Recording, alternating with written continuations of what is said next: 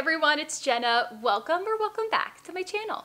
In today's video, I'm gonna show you all how I decorated my kitchen and dining space for the holiday season. And if you missed my first decorate with me, I did my entire living room area. And the theme for that was just to bring the outdoors in by keeping things very rustic, organic, and cozy. And I also added pops of burgundy, which I just feel like is a very timeless and classic color. So we will be carrying that through the kitchen and dining room area today as well, just because this is an open concept and I want things to flow together. And if you are familiar with my channel, you all know that we we keep things very reasonably priced around here, but still achieving that high-end designer look. So I'm excited to share it all with you today, and without further ado, let's get into the decorating. Okay, so first we're gonna start with our dining area, and this is what it looked like after I took down all of my autumn decor. And as you can see, I like to keep my core pieces and textiles pretty neutral in color and style so that I can play with whatever color or style I want to when it comes to my seasonal decor. And the first place I wanted to start was this awkward little corner space that we have at the end of our dining bench, and I just popped this little vintage stool that I found at an antique store in Phoenix, and no joke, my best friend helped me bubble wrap it, and I took it on the plane as my carry-on, so dedication but I wanted to add a larger planter on top and Hobby Lobby is a great place to find larger planters for reasonable prices in the winter time because I know some stores like Home Goods only carry them seasonally. So Lowe's and Home Depot are also great options as well, but I found this really pretty kind of rustic style one for $25 and just popped it on top. And then to go in the planter, I found this four foot tree for only $35 at Lowe's, and I thought it looked very lifelike. So I brought it home and I just made it a bit more neutral by removing the red berries for a more natural and rustic look.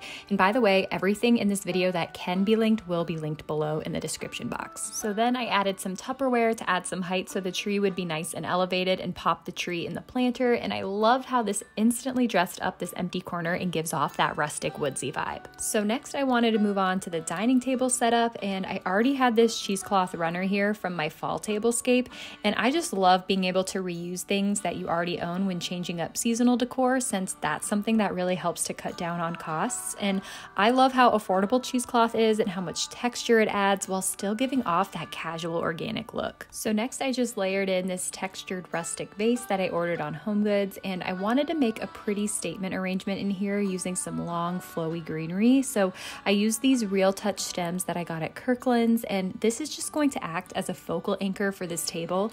If I have a large amount of guests over, I'll usually swap this out for a lower arrangement and put this on like a coffee table or something. But as far as styling purposes go, I like to have a large floral arrangement to anchor my table since I think that's very visually pleasing. So to layer in that burgundy accent, I just used these stems that I found at Hobby Lobby, and you don't need a bunch of stems to add color to an arrangement. If you have a full base layer of greenery, you only need two or three three stems to incorporate that fun pop of color. So that's what I did here just to establish the accent color for this tablescape. So next I wanted to layer in some garland and when it comes to winter decor, I'm really drawn to greenery with pine cones because of the rustic look that it gives off. So I snagged this pine cone garland last year at TJ Maxx, but I believe there is a similar one available right now on Afloral. So I just used two of them and wrapped the end of the garland around the vase to help accent the centerpiece.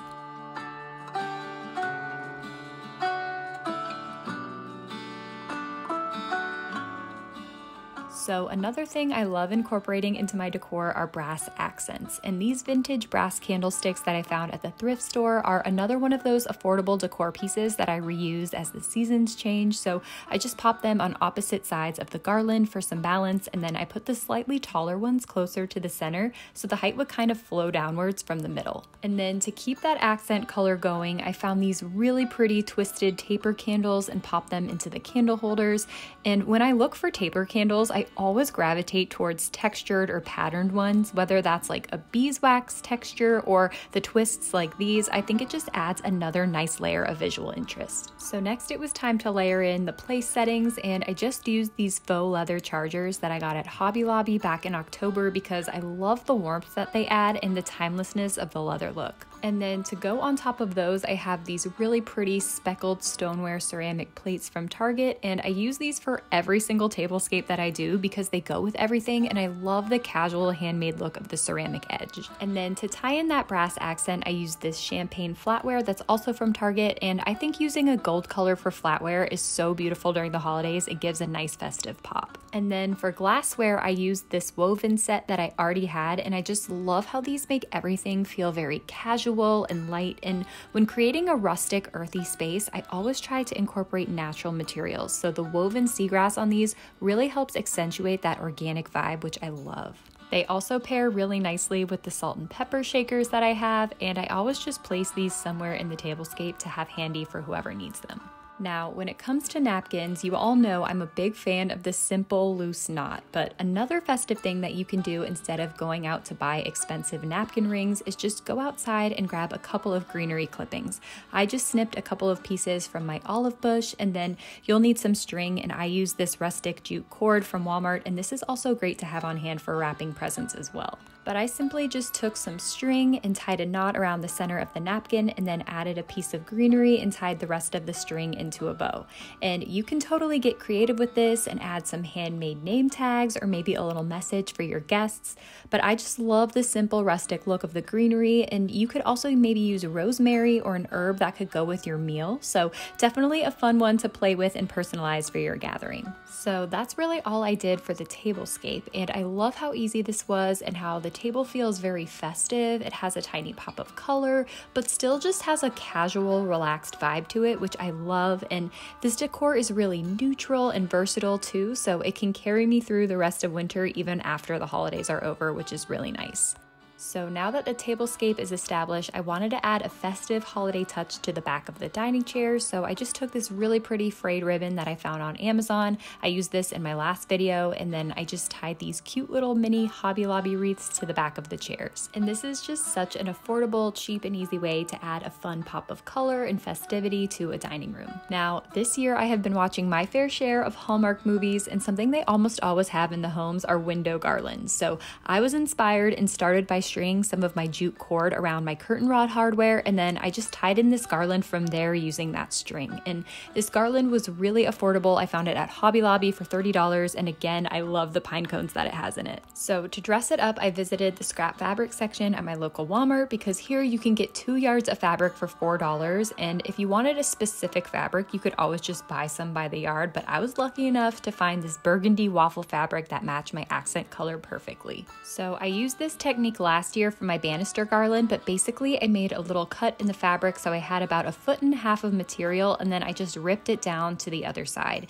And I did this with two pieces so I had two identical strips. And I'm just going to be making a giant bow with this. So one strip is going to be our tail pieces and the other is going to be our bow loops. And I just started by stringing the tail ends first and then I strung the second strip through and pulled until I had two giant loops. And this just creates the illusion of a giant voluminous bow.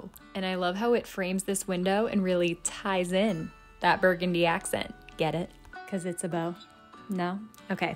Anyway, we're moving on to this little drinkware station that we have in this corner, and I just wanted to spruce this up a bit. So I added this textured vase that I DIY'd in a previous video, and I like how the texture kind of played off of the one that I had on the dining table, and then I just added these faux greenery stems with pine cones that I found at Hobby Lobby. And then for a little accent piece, I found these LED amber glass accent trees in the dollar spot section at Target, so I popped it on there to complete my little group of three, because you all know I love to style things in groups of three with everything being a different height since that makes for a very visually pleasing arrangement. So for another decor piece to help tie in that brass accent, I found this rustic style bell at World Market and I love the little velvet tie on it, but I wanted to make it more cohesive with my space, so I decided to remove it. And once I took it off, I thought it looked a lot like the accent bell they sell at Ballard Designs for three times the price. So this was a nice affordable option, but again, I just took that frayed ribbon and made a nice little bow. And when you invest in some pretty accent ribbon. It's nice because you can use it in different ways all around your home to help tie in an accent color of your choice. And it just helps to dress up your space a little bit. So I have this woven pot holder that I always have hanging on my hardware and I just popped the bell on top of that for a festive layered look. And that was really it for the dining room decor, so I decided it was time to move on over to the kitchen. And again, this was kind of our blank neutral slate that I was starting with after I took down all of my fall decor. So the first place I wanted to start was our kitchen island, and this is kind of the focal point of the kitchen. So I always like to have a little statement moment here with a large vase and a bowl.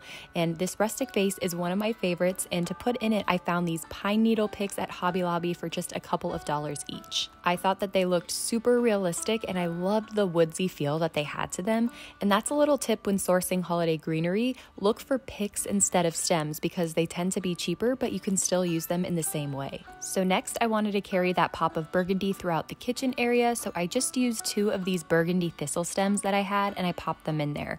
I love how wild and gathered this looks. Like I just went into the woods outside my house and just picked out what I could find. So for my bowl filler, I wanted to find something that matched that rustic theme and tied in the brass accents throughout my kitchen area. So I found this rustic bell garland at Kirkland's and I thought it would be perfect.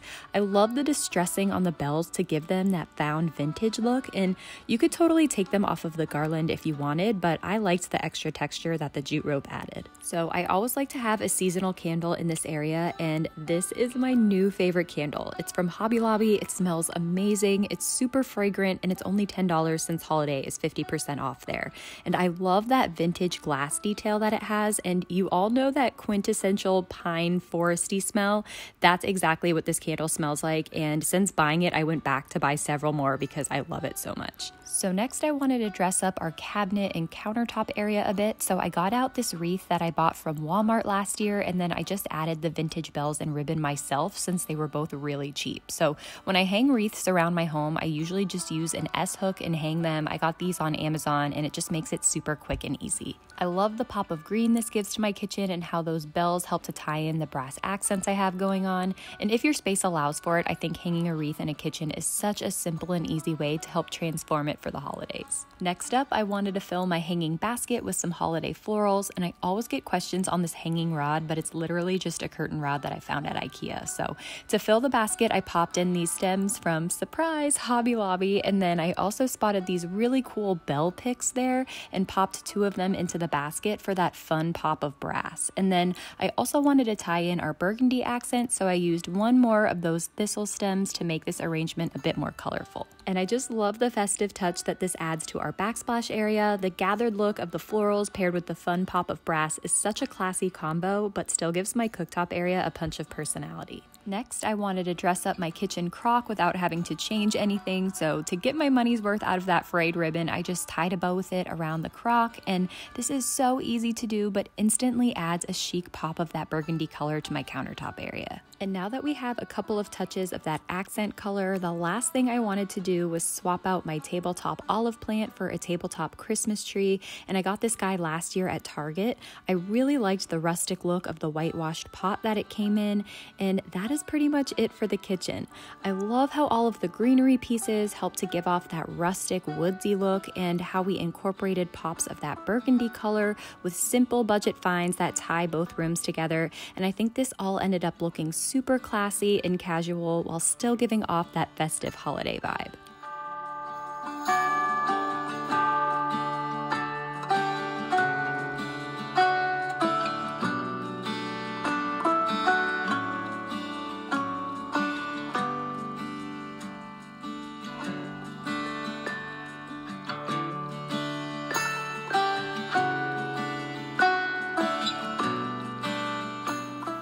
Everyone, that about wraps up this video. I hope that you enjoyed seeing this little holiday decorate with me. If you did, please give this video a thumbs up. It really does help to support my channel. And if you're not subscribed, make sure that you are because I have a lot more Christmas decorating content coming, so you don't want to miss any more of it. And I just want to say thank you so much to all of you for watching this video, and I will see you all in my next one. Bye!